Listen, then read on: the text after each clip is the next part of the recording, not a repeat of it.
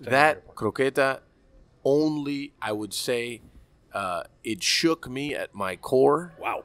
It did. Jeez. Shook me at my core. The only other croqueta to have that kind of uh, impact on me is Eileen's family's croqueta at Isla Canaria.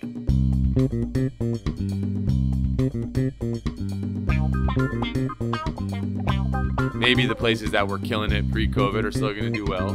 But if you were on the fringe or you were maybe just barely getting by, you're probably not going to make it. Right. Um, in New York, I'm looking to expand my empire because I, unfortunately, you know, with other people's demise comes opportunity. And, you know, being at the end of the day a survival of the fittest, as I think Darwin once said, we have to do what we got to do to survive. And if that means, you know, taking advantage of the situation, if you're able to, you got to do what you got to do. And I'm seeing more and more restaurant opportunities for second generation, pre existing institutions, places Yeah. that weren't just getting by, places that were fucking killing it Crushing it, yeah. that were doing, you know, five, six, eight, ten million dollars in sales in a year that are just on the market for free. Right. All you have to do is sign a lease, albeit at 50% of whatever the price was pre COVID, just knowing that, you know, you had what it takes to last the storm. Right. And that's something that I've never seen in this business. You know, proof is I paid 100 grand for a set of keys that were probably worthless six years ago. You Right. know, today, that same deal would come for zero dollars in a Correct. place like New York, which could have never happened six years ago. So, you know, I, I think um, to your point, like the idea of there being opportunity now is very factual. And what I tell people like you and I that are in the industry, I said, don't get the big googly eyes, right? You still got to be very fucking smart, right? Because every real estate person on the other side of the table, they're gonna wine and dine you. They're gonna fucking romanticize you. They're gonna all that stuff. As soon as you sign that paper, they're gonna want their fucking rent check every month. So sign a good lease, get a good fucking lawyer, make sure that you do your due diligence. Understand that romance is very different than business. oh, yeah. I am a very romantic person. I've spent more money on lawyers negotiating deals and leases Yeah, than I've spent on anything else for the last five years. and that's what money well spent. oh yeah, dude, those Money guys well have spent. saved me millions. saved you. Look at that's amazing. Thank you for someone else saying that other than me. Saved you millions. You know why? Because they give you this like gift in a fucking in all wrapped in beautiful big. And you always want to rip their throats out because Yeah. they're the ultimate deal breakers. right, But it's like they're doing you a fucking service. but that that lease, it's got to be. You have to look through it Airtight. through a fine. I just got off the phone. I've been doing a deal in LA for Sushi Noz for uh, it's been almost a year and a half that I've been working this deal. And uh, right before COVID, we were like yay close from signing, and then COVID hit and the whole thing got shut down. The, the whole project got paused, and I kept following up and following up, and all throughout COVID, you know, they were telling me, you know, like, hey, you know, we'll get back to you, we'll get back to you, and finally, like when I stopped getting back to them, they got back to me, and and we started the convers- conversation again. And even when the when they give you exactly what you asked for, it's not exactly what you asked for. I know there's always a thing. I spent two hours just destroying these guys on the other end. I, I swear this guy probably, when he sees that I'm calling the, the landlord or the landlord's rep, he's probably, it's the worst part of his day. Because he knows that I'm about to microanalyze every last Amen. word and go down every single red line Good. in a way that probably most people are just happy to get the deal. Even the sweetest deal ain't that sweet. That's right. There's always some guy in the back trying to stab right. you in the side of the neck and put you down for good. So I'm I'm really grateful that you said that lawyer thing for anyone who's trying to be a restaurateur out there. You know, And and, it, and it's just like, and I tell people all the time, it hurts to spend it, but gotta do it.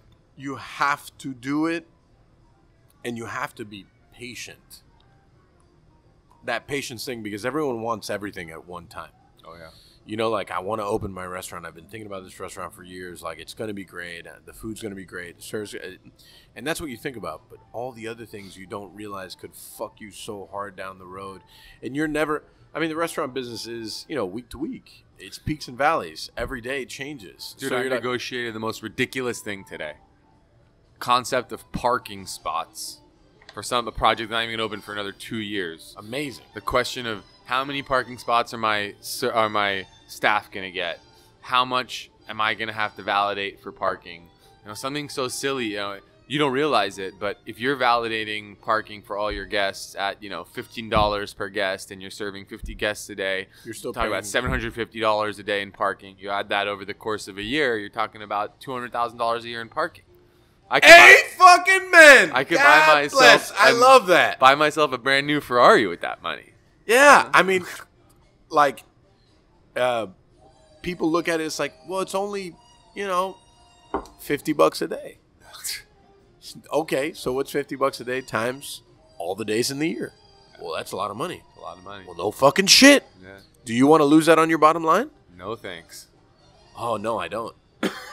then man, so you have to renegotiate. You have to go back to the table. You have to tell them no. No. And, and it's just like people I told him, I said, that 150000 means a lot more to me than it means to your billionaire developer ass. Absolutely. But they get so many people that don't look at things like that. Yeah.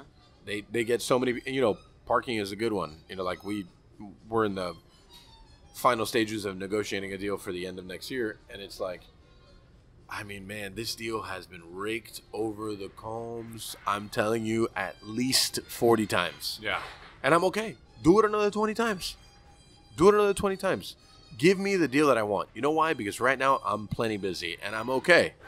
So if they I need to wait another six, seven, eight months to get the deal that I want, then I'm So okay. If they really want us to do this deal. It's a marathon. It's not a sprint. That's correct. It's a 15, 10, 15 year lease you're signing. It's not a yeah. 10, 15 month lease. Well, but that this is also the problem, man. And it's important that you mentioned the fact that, like, yeah, there's going to be a lot of opportunity now. But I think if a lot of the uh, industry starts to jump in on that idea, like, and I've seen it and I've said it, and people don't believe me, but they're going to give you the short and sweet lease, right? Here's a two year lease for like a fraction, right? Here's a two year lease, but then the option goes back to regular. Oh, does it? The option goes back to uh, what's regular? I was like, oh, it's eighty five bucks a foot plus uh, triple net. Oh man, eighty five dollars a foot plus triple net. Yeah, but I'll be fine by that time. How do you know you're going to be fine by that time? What if we get COVID 22? Right. What if uh, did you put a clause in the lease about COVID? Did you put a clause in the lease about a pandemic? Did you put a clause in the lease about? I mean, I can go on forever, forever, and I think that's when you start to lose people because they they romanticize the situation, and I know it so well, and Yeah, because talk. people want it. You can't blame people for wanting it. I know, and that's what I was saying. Like I understand it so well only because fucking five years ago I was in the same boat, and I romanticized the situation, and I was like, man, I'll just do whatever it takes to just get this deal done, and I fucked myself six ways to Sunday, getting there. But we have survived. Everyone's got to get fucked. Yeah, I mean, you know. You only learn if you got fucked once. Now in my life, I'd much rather just fuck the real Fool me realtors. once. Shame on me. That's right. That's right. I think we're at a good place to start winding down, Nick. We do. Uh, we we start doing. You're the man, Beltran. I love talking to you.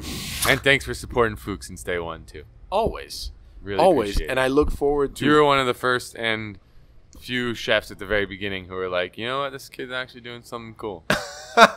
I mean, you're you're actually like an a, an intelligent, good dude. Thanks, bro. You know, so it's like uh, to find people like-minded. I think is tough, and you know we we've had uh, dinner outside of just talking about work, and and I tell you all the time, it's just like I feel like sometimes I'm on an island, right? Because I'm so I'm so rough and callous when I approach business, but that's the part you need to be rough and callous about. Forget about every, every be romantic, be loving. With your girlfriend. The food is what I'm talking about. But yeah, no, you're right. Yeah, with your girlfriend also. Um, but the business end, you need to be a fucking shark. You know why? Because you're in a pool with a ton of fucking sharks. I don't want to get eaten up. No, and I'm I, I'm not gonna get eaten up. So, you know, that leads us to a place that it's just a lot of mutual, mutual respect and love. And I, I I don't know what you're gonna release on January first, and I don't know who you're gonna tell Is, about this, is it. this the part where we do the OnlyFans thing and we start making out? We're not we're not Bella Thorne, right? People aren't dropping serious coin for this, but. Uh, maybe OnlyFans 2021. I'm pretty good looking, Mike. Me too. Wow. You're selling this OnlyFans subscription really hard. I'm telling you. Dude, I'm telling you. I I think- told you I about think- my cousin, man. I think I think we could get his we can Yeah, employ we his cousin. hookup. We can employ his cousin to be our agent Yeah. and OnlyFans Pan Con Podcast I'll tell him- 2021. I tell him I got his first client. Everybody, Done. Everybody's got to He's start. got a lot of tattoos and cornrows. Gabagool. hey, we're here. Uh, but did you have something that you wanted to come back with after the fact? Uh, think about that a little bit. Think about a question that you want to throw out at the very end. But right now, we're going to do all our regular wind down things. Later on, we will record a final question, and in order to get David Foulquier's what For up? Patreon? yeah for Patreon. Oh, fuck. Have a, have a question for Patreon. All right, I got it. I got it. You so there is a question. What's the question? What's the question you're going to ask? Don't answer it. But what's the question? Let the people I- know. Uh, people have to pay for this, right? Yes, so they have to. Well, but tell them what the question is. They have to pay for his answer.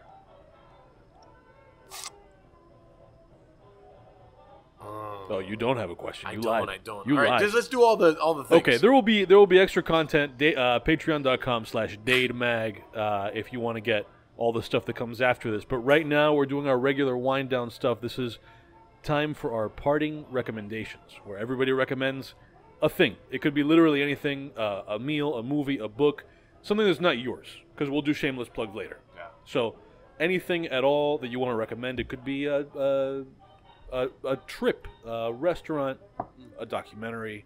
People have recommended all kinds of things. An OnlyFans account. Ri- and o- your favorite OnlyFans account. Uh, the the the recommendation we always refer to to let people know just how you know wide the range is is that uh, Joaquin Gonzalez, uh, when he was on, Oh recommended my god! I can't believe you're bringing this that up. if you must use a condiment to masturbate, the best one is mayonnaise. I was about to say. Makes sense. The Cosign. words out of my mouth. Yeah. So, so anyway, that's to give you a sense. I don't know if you want to go first, you can, or if you want to give yourself some Sure. time to think about it. Sure. I've been. Uh, I think I've been. Uh, I recommend that in life, for me, the most important thing that I've ever done is to travel.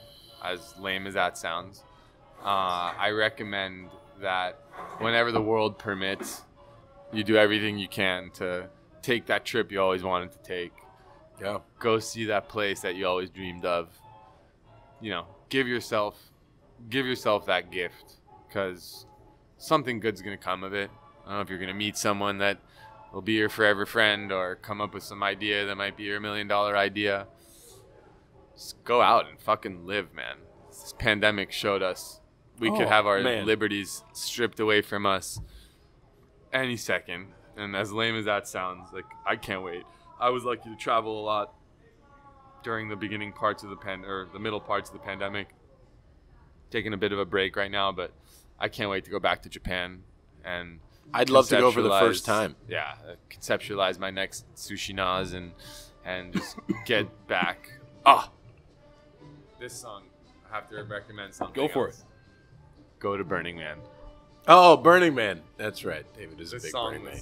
My uh, song of Burning Man. Was it? That's just so uh, perfect that it just. I was riding a bike and it was hot as fuck in the morning across the desert, It's called Burning Man. and uh, and I started needing shade really badly, and there's no shade. It's a desert. All of a sudden, I'm riding my bike, and this giant art bus starts driving past, creating this perfect shade for me as I cross the desert around nine in the morning, bumping this song. Oh, amazing. and I just cruise. I have a video of my girl and me just cruising on the bike, listening to this song, and this is a song that every time I hear it, just puts this big ass smile on my face. So Oh, I love that. Well, it's on the Ariete playlist. There you go. We are open seven days a week, everyone. What do you have to recommend? Um, before I get into my recommendations, to double down on what you said, to travel, beyond just traveling, I have taken a large p- portion of the year to learn things or uh, start to attempt to learn things that I've always wanted to. And uh, it could be music, it could be uh, whatever it may be. And I think that something that's more evident than ever through this year has been that we're not promised shit. So, I mean, take advantage of the time. Okay. Take advantage of the time. Take advantage of like uh, Cheap flights. whatever it may be. Like I've always wanted to learn how to play the sax. I'm gonna try. Wow, that's tough. Who you telling? Wow. I'm aware. I would pay to see that. no, no one's paying for anything. In the dark, dark rooms of my apartment. So, you know, just Pick Uh, it up, whatever it is, just do it. Yeah. And, and I've taken a, a large portion of the year to do. That was things. actually my 2020 New Year's resolution: is do something that you didn't ever do before. Yeah, for me, boxing was a big thing there. Like I, you know, I uh, see you're kicking ass in the gym, I don't know about kicking ass, maybe getting my ass kicked, but I am, I am there, packing a punch. and just like you know, the whole world of boxing and the art of boxing is Yeah, you something become fit as a fiddle, bro. I don't know about fit as a fiddle, but I'm fitter than I used to be. Making me look like fucking. So- look like shit. So I think in this year, it's just like uh, it's important to realize those things that you always wanted to do, just do them. And it doesn't mean making sourdough for Instagram. It means a a lot of other things too. So, parting recommendations. Yeah. Uh, fuck. We just did this. I mean, maybe that's your recommendation though. Learn a thing. He said go to places. You're saying learn a thing. I'm sure. Yeah, learn a thing. Um, learn a thing is good. Um, Play the sax. we already we already talked about Sanzione subs, right? Yeah. I recommended that. Um, I would recommend Arbetter's uh, sauerkraut hot dog. Okay. Yeah, Arbetter's. It's on 87th and Bird. Yeah. 87th Bird. and Bird. Yeah. I would recommend the Arbetter's sauerkraut hot dog mustard on the side because I'm a mustard on the side guy, and the chili cheese fries are exceptional.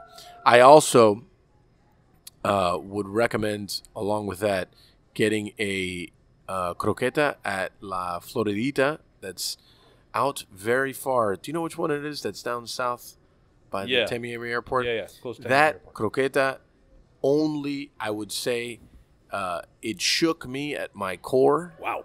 it did Jeez. shook me at my core the only other croqueta to have that kind of uh, impact on me is eileen's family's croqueta at isla canaria Yeah. so um, i think maybe it's because they were out of croquetas and they were they made them fresh but man it shook me to my core and uh, we ordered four and i ate two of them Were they ham and cheese croquetas? they were they were just ham ham, and they were they were fucking delicious. Wow. And it was crazy because it's in the middle of nowhere down there in like Kendall, like super deep West Kendall. Did you pick up a thing or two and nail it when you got home? No, I, I didn't. I just I, I want to go back and eat more. We're not in the in the Research and development. yeah. that's that's what it is. Research and development. So I would recommend those two things. Cool. Uh, that's it. That's all I got. If I had to recommend uh, any food Yeah, for sure. anybody out there, go to Little Louse. I know I mentioned them earlier. I had it for lunch again today. They're delicious. Recommend what to eat there. I do my classic order: beef jerky. It's like homemade beef jerky with like a nice spicy dipping sauce. Uh, crippy rice, which is a very traditional Persian thing that they uh, that they kind of created when they were at Fooq's and they did their version of it. So it's like a nice like crispy fried rice situation. Chicken wings. They got like a tamarind glazed chicken wing that's outstanding. Oh, man, I love tamarind so much. Oh, so good So good. and um, their pork ribs are outstanding. Little kind of like riblets. Oh, I'm gonna They, go like, there. break down. And these like really good like sweet tapioca dumplings. I think if you hit those four, four, four or five items with a papaya salad, wash it down with a beer lao. The best Asian food in town. I just went to Yakko-San for uh, first time in a while. Yeah, always a good one. Still holds up. I mean, the Try service, this one. You're the- gonna you're the gonna thank me later. The service was absolute fucking trash, but the food was still very good. Yeah, these, these guys are pros. Yeah, the food was still very Been doing good. it for some time now. Yeah, I mean, Yakko-San is still like that that thing. You Yeah, know, it is. so I'll leave it at that, Nick. Very good. All right. I'll make a recommendation. Do your recommendation. My one recommendation, because I'm still trying to make up with uh, for two episodes ago, so I'm going to be brief because two episodes ago I went on forever. Uh, we've we've talked about Mike that uh, you know people may not peg you for a, a sci-fi fan. Uh, uh, I am a sci-fi fan. my equivalent is uh, people are often surprised to learn I'm a country music fan. Wow, the one music I can't stand. and I was on my way here. I was listening to uh, an old, old uh, in the sense that it's just not new. It's not like a, an old, old album, but the Garth Brooks album Sevens. It's a very good album. Heady, heady shit. Garth Sevens by Garth Brooks. What I love about it is that there is some like very, you know, I don't know if I'd call it heady, but uh, you know, like very well written, sort of, you know, profound music in there. And then there's other stuff like Cowboy Cadillac, which is also very good. You listen to country music. I do. I'll t- and this is why because when because when my mom used to drive me to school, she uh, wanted to put something on the radio where there were Cubans for Trump is also a thing. Well, no, but this was she actually she actually didn't like country music either. But then she realized that the country music station was the only one that didn't have dirty jokes in the morning show. Uh, So when she was driving me to school, it was like there was Power 96, and that wasn't an option, and there was, you know, uh, and of course I ended up listening to all that shit anyway. But uh, but I ended up just being a really big Garth Brooks fan. Man, nothing wrong with country music.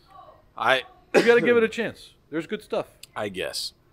I'll, I'm send, a- I'll send you some things. I think Send me like it. some stuff. I, I can't wait to just Some uh, of some of it's like not want to listen to like. it. Are you into blues? Yeah, blues is my thing. There's some like very bluesy country out there. yeah, but blues and country are different. I didn't say it was the same. I said it was. But you can't have bluesy. bluesy country. It's Sure either country or blues. You can have Of course you bluesy can. Oh man, What are we're you about talking to dive about? into a whole. I'll send you a thing. I'll send you some things. Hook me up. So anyway, that's Hook me up. Send it to David. That's also. the rec- That's the recommendation. It'll be on the playlist at Sushi Noz Uh, next year. Shameless plugs. Just tell everybody where they can find you online. You and all your stuff. You can find me uh, Instagram at David Fooqs F O O Q S. Find my restaurants at Fooqs Miami at Sushi Noz NYC. Uh, yeah, that's where you can find us. Shameless plugs. Michael Beltran. All the things. Very good. You can find him on all the things, and then at Pan Con Podcast on all the social media things. DadeMag.com I slash. have to say, I was pretty jealous that this thing was like happening for a bunch of time and that I wasn't invited on it. The So music. Hey, big ups, Carluba. Thanks for the invite. big ups, Carluba. So yeah, I mean, I, actually, I think we had brought up with Carluba inviting you a few times, and then he was kind of dragging his feet a little bit. And I think also he had brought it up with you, and but you travel a lot more than Yeah, I most of do, our I do, guests. I do, so I do. Most of the people we wanted to have on were like easier to pin down. Than Right, right, right, right. uh, A man of the world, David Foulquier. the world what a that that should be the title of your book. Hey, A man of the world. man of the I world. like it. yeah. Uh, so I'll always be here anytime you need me. slash Pan Con Podcast, OnlyFans.com slash Pan Con Podcast. Uh, I love it. but actually, Patreon.com slash Dade Mag. All Uh, inquiries, David at FooqsMiami.com. That that'll be the talent search right there. serious inquiries only, please. Yeah. no, you got to be serious. And uh, and that's it. And if you uh, are a Patreon person listening to this on Patreon, you can hear beyond this point and whatever question it is that Mike Beltran has Fuck, I don't know. for David. Fucking A. It can be literally anything. It doesn't have to be a good question. Just a question. Okay. Ten minutes on. In in your experience hmm. in Miami, hmm. and also having a, a place in New York, what are the fundamental differences between being a restaurateur in New York and being a restaurateur in Miami? That's actually a really good one. I gotta take a leak. I knew you though. could do it. I gotta take a leak.